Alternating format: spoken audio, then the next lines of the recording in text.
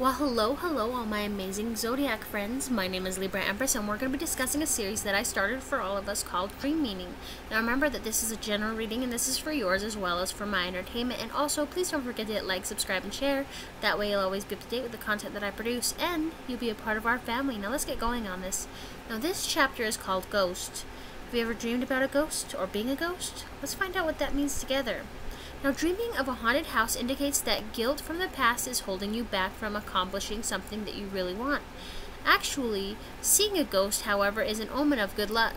Now, if you are frightened by a ghost, this could mean that mistakes in your past have come back to haunt you. It could also mean that intense pressure to do something against your principles could be put upon you by someone in a position of authority. So, kind of like peer pressure, but authority pressure, if that makes sense. Now, if the ghost is someone known by um, so, someone known to you or by you who has passed away and who speaks to you, listen. The message is important, and also see the video dying. Okay.